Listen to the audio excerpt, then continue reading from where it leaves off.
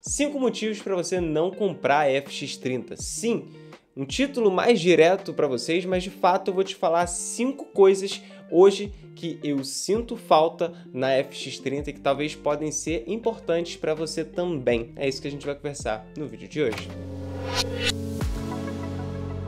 A primeira coisa que eu vou falar aqui é que a FX30 é uma câmera incrível. Por que, que eu tô comentando isso logo no início? Há um tempo para trás eu fiz esse mesmo conteúdo, só que de cinco coisas que eu não gostei na Canon R7 e ali teve muita gente que não entendeu muito bem a, mensagem. Esse tipo de vídeo aqui é para você que está pensando em comprar a FX30 e você deve levar em consideração esses cinco pontos que eu vou comentar logo logo. Se você já tem a FX30, esse conteúdo não é para você, porque você já tem ela, né, cara? E você já percebeu esses pontos aqui que eu vou comentar. Então, não se sinta doído, por favor. Como eu comentei, é uma câmera incrível, é uma câmera que a gente, pô, não tem como falar nada dela assim, questão de qualidade, tudo que ela tem para entregar. Mas logicamente como qualquer outra câmera, ela tem pontos positivos e pontos negativos. Vale ressaltar que já tem um review completo da FX30 aqui no canal, então eu assistiria se fosse você, se você ainda não viu esse conteúdo. Só que toda câmera existe o lado positivo e negativo para o seu tipo de trabalho. Eu sempre gosto de comentar isso daqui, porque não vai existir câmera perfeita. O perfeito para mim pode não ser perfeito para você. Consequentemente, coisas que para mim não fazem sentido para o meu trabalho, para você podem ser muito importantes. Então você tem sempre que levar em consideração o que, é melhor para você, o que, que de fato você precisa em um equipamento e não ter o equipamento só por ter ou só por ego ou coisa do tipo. E aí a gente já entra no primeiro ponto que é a fotografia. Essa câmera ela faz 26 megapixels de foto, o que é uma foto muito boa, só que ela só vai te entregar um único modo de foto, que é aquela, aquele disparo single, né? Aquele disparo único, a palavra. Nossa, parecia aquelas pessoas, sabe, morei muitos anos fora e aí agora já não sei falar português. Não, eu só esqueci mesmo porque a câmera tá em inglês. É aquele disparo único. Então, se você precisar fazer várias fotos, se o seu tipo de trabalho demanda bastante fotografia, de fato e de longe, essa câmera aqui não é para você, porque você não vai ter uma fotografia excepcional com ela. Você não vai ter o modo burst, que muitas das vezes, cara, dependendo do estilo de foto que você vai precisar, o modo burst é o que vai só vai aquele trrr ou trrr, dependendo né, da forma que você quiser lidar aí com esse som, só que ela não vai ter isso. Então, a fotografia, o que para mim, por exemplo, é um ponto muito importante e que de fato isso aí acaba me desanimando muito com a FX30, que é esse ponto da fotografia. Então, se você precisa de foto e vídeo, a FX30 não é para você. Se você for mais do vídeo, aí sim, a FX30 é para você com toda certeza. O segundo ponto que você deve levar em consideração isso daí não só para FX30, mas principalmente somente para FX30. Se você tem um computador fraco, não compra a FX30, porque ela entrega arquivos muito pesados. Porque assim, é, cara, você quer arquivo bom, você vai ter um arquivo pesado.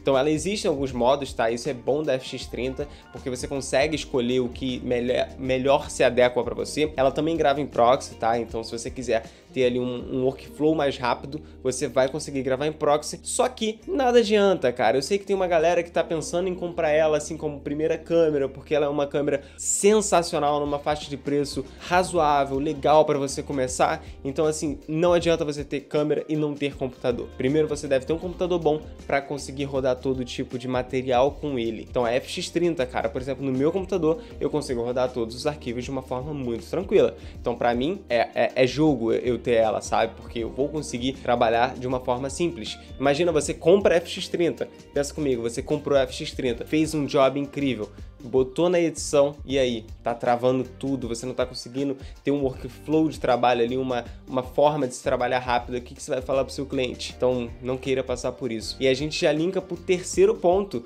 que é, se você for iniciante, eu não indico o FX30 porque é uma câmera muito completa, é uma câmera que depende um pouquinho de conhecimento, então você tem que ter um conhecimento a mais. Para você que está começando no mundo audiovisual, você está pensando em ter ela como primeira câmera, eu não indico, cara, porque é a mesma coisa se você tirar, fazendo uma comparação, se você tirar a sua habilitação, ou em outros estados aí que chama de carta, né? Eu acho que é isso. A sua a licença para dirigir, vamos falar dessa forma.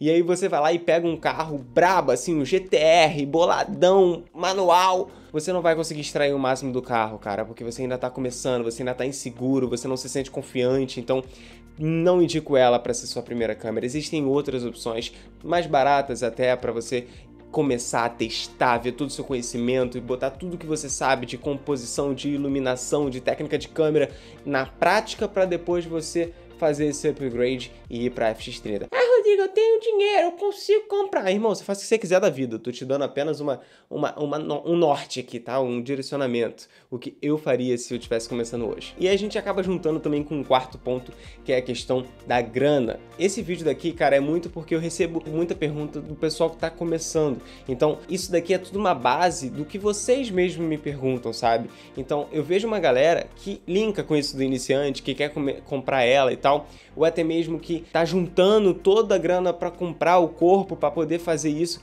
não compre a FX30 se você só tiver o dinheiro para o corpo. Isso daí, cara, também serve para qualquer câmera, mas principalmente na FX30. Por quê? Não vai adiantar muito você comprar a FX30 e utilizar uma lente muito simples, por exemplo, você não vai extrair o máximo de qualidade que a sua câmera pode tirar, te dar. E também ela precisa de cartão de memória potente. Cartão de memória é uma parada que as pessoas às vezes não levam em consideração, não dão tanta importância, só que é uma das peças fundamentais para você ter um arquivo maneiro. Então, por exemplo, eu estou utilizando no momento um V90 de velocidade muito rápida para gravar esse vídeo daqui. Eu estou gravando 2, 10 bits, XAVC HS 4K 24, né? Vale ressaltar. Se você não entendeu nada do que eu falei desse, desses termos, ela também não é para você, cara. Mas se você entendeu, beleza. A gente já leva esse ponto em consideração.